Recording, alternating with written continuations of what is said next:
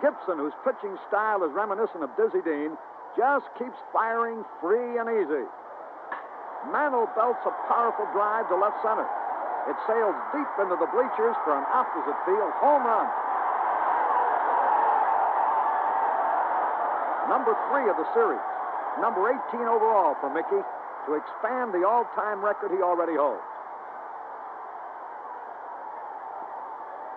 The three-run homer slashes the Cardinal lead to six to three.